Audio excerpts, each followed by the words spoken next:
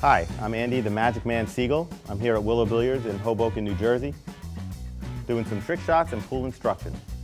So if you're ready, let's get started. So if you remember from the Hustler Bank, we had the eight ball and the cue ball frozen to the rail. This time they're closer to the pocket, and we want to make the eight ball in the corner. Well, if the cue ball was here, the cue ball would kiss out and get out of the way. But what happens if it was here? Now the momentum of the cue ball is going to stay in the way of the eight ball, and the eight ball won't be able to bank. There is actually a way to make this shot. First, get rid of the cue ball, replace it with a golf ball. Now the golf ball is lighter, so it will get out of the way and allow the eight ball to bank.